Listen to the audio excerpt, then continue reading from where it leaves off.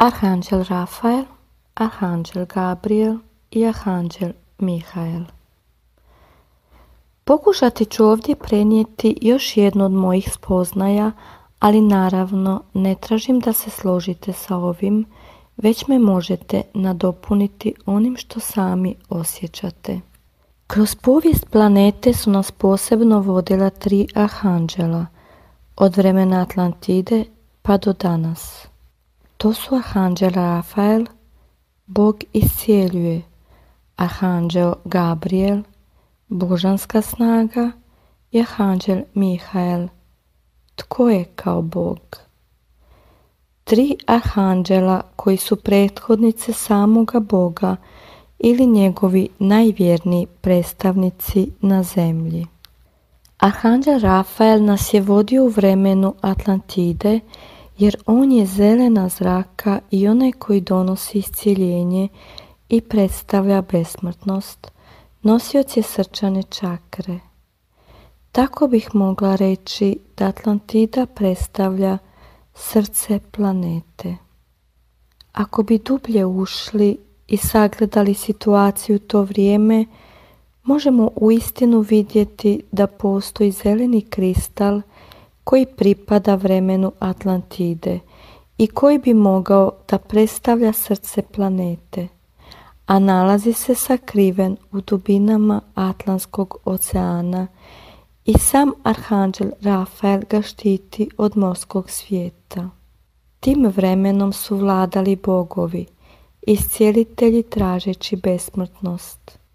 Kroz svako vrijeme na kraju je ostajao jedan koji prenosi znanje dalje na one koji dolaze kroz buduće naraštaje, tako da kroz vrijeme Atlantide onaj koji prenosi učenje preko Arhanđela Rafaela je Tot. Arhanđel Rafael nam je preko Tota ostavio svoju energiju i dio tog učenja u nasljeđe, da se ne zaboravi tako da postoji uska veza između Arhanđela Rafaela i Tota. Sam Arhanđeo Rafael je djelovao kroz njega i ako pratimo vrijeme Atlantide, prevladavala je zelena boja zbog zelene zrake. To vrijeme bih nazvala vrijeme mudrosti. Preko Tota nam je predana mudrost preko srca.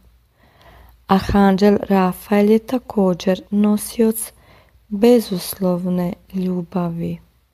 Sljedeći važan period po mom duhovnom nahođenju za čovječanstvo je vrijeme Isusa Krista.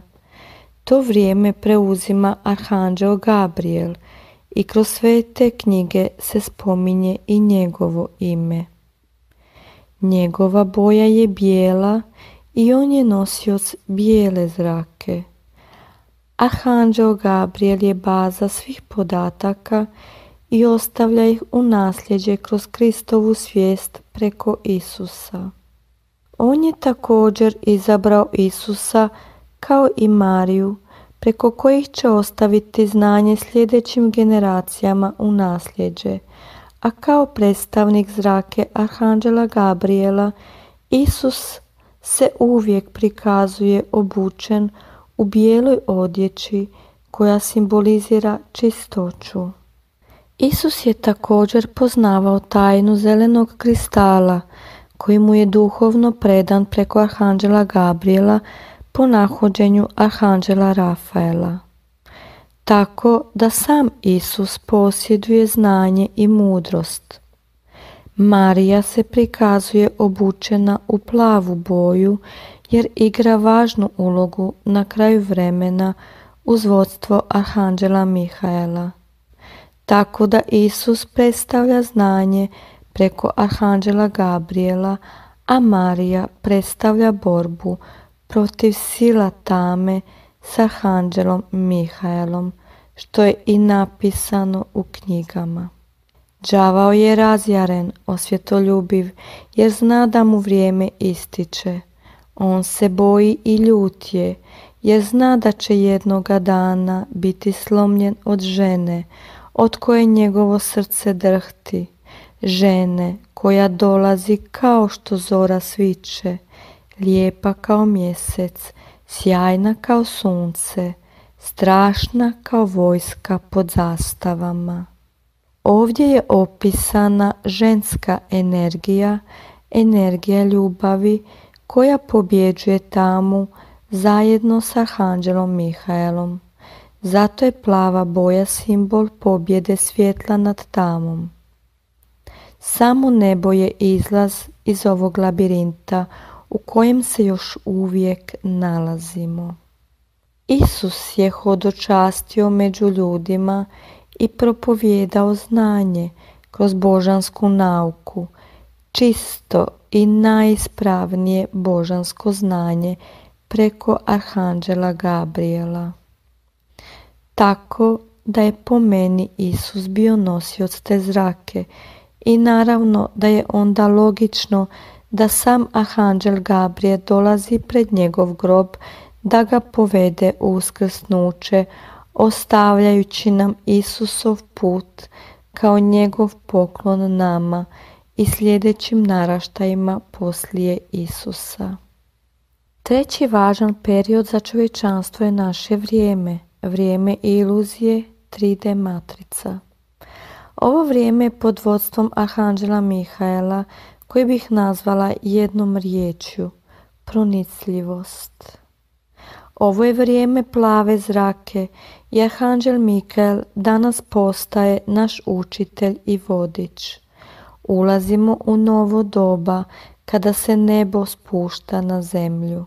Zašto nam sakrivaju nebo i kriju ga od naših očiju da ne bi vidjeli što se u istinu događa iznad naših glava?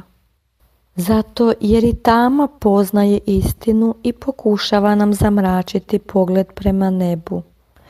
Učenje Anđela Mikaela je igra ili labirint, da bi čovjek razvio pronicljivost uz već predano mu znanje i mudrost koje je sačuvano unutar naših duša. Pronicljivost je usko vezana za dušu i što smo mudri i pronicljiviji, bliži smo svojoj duši, Bogu i sve više povezani sa višom svješću.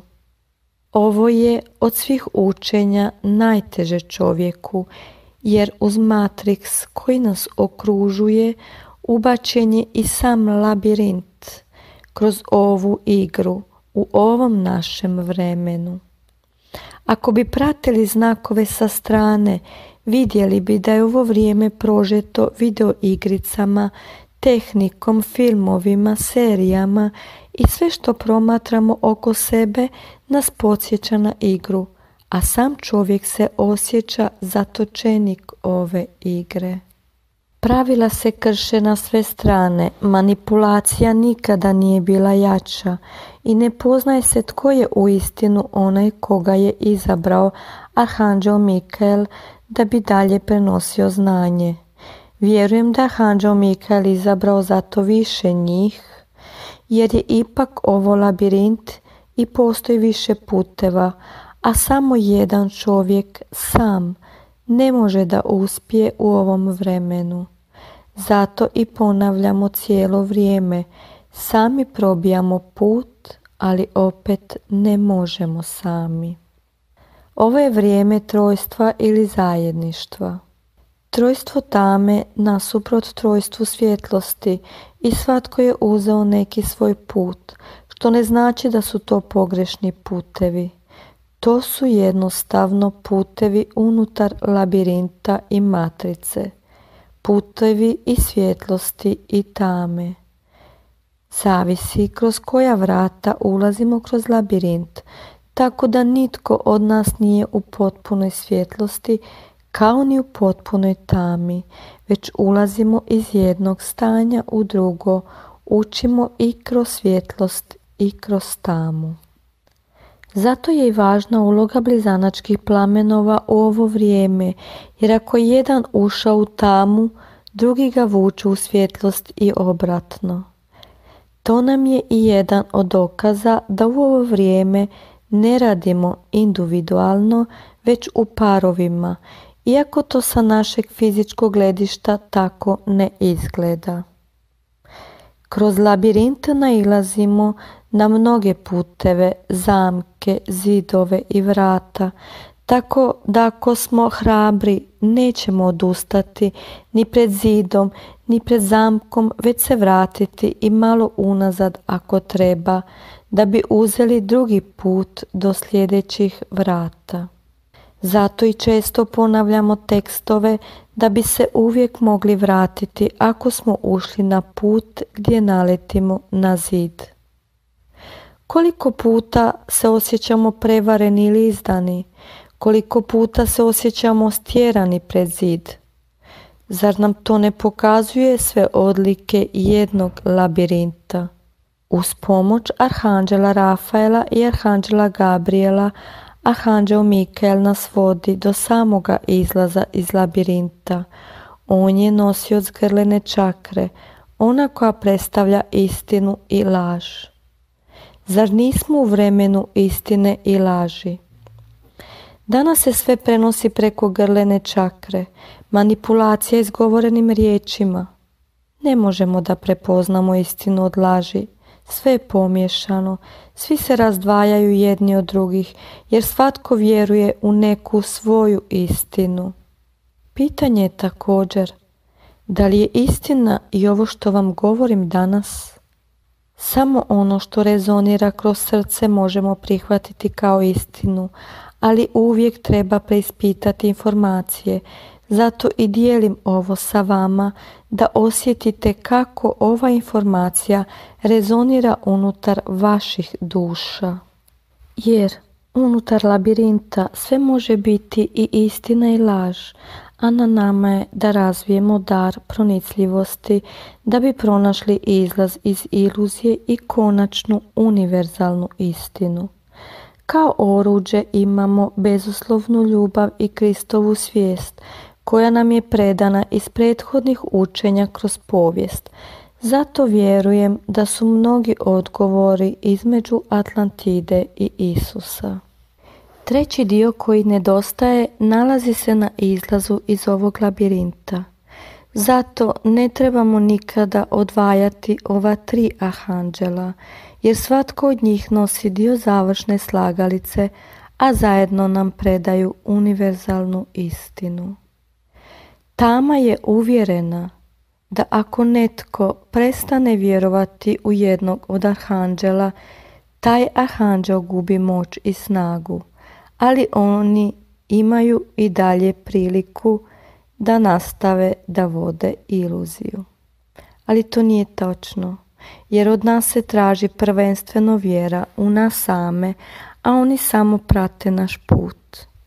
Što jače vjerujemo sebi, to smo bliže izlazu iz iluzije i uskrsnuću duše. Između ova tri arhanđela postoji posebna veza i povezanost, a danas zaključujem da su oduvijek radili zajedno i pripremali čovječanstvo na ovo vrijeme duhovnog uskrsnuća. Zato na samome kraju prolazimo kroz vrijeme Atlantide, vrijeme Isusa, ujedno sa našim vremenom.